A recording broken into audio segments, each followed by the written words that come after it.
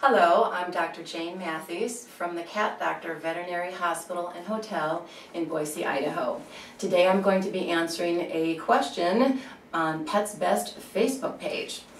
This one is from Nick and he says, I have a cat that likes to chew on stuff, mostly when she's bored. It's not so bad as to be a serious problem, but are there any chew toys that are safe for cats? Well, Nick, most cats aren't chewers like dogs are, but every once in a while I do run across a kitty who just really likes to chew on everything.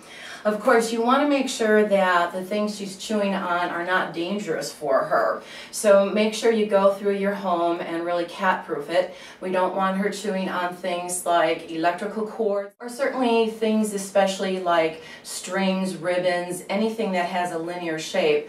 Kitties can get into big trouble if they swallow those and they go into the intestine and get stuck there.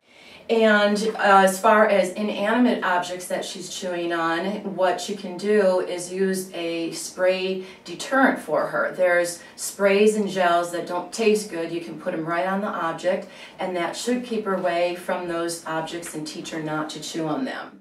Probably some of my favorites can be found at some of the larger pet stores.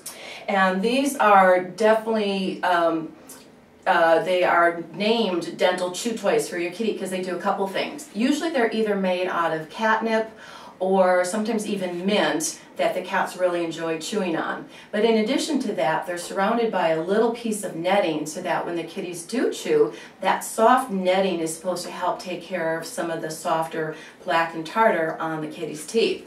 And so we're helping with two things, um, both cleaning the teeth and giving the cat something to chew on. Send any of your questions about cat health to the Pets Best Facebook page, and I'd be happy to answer them.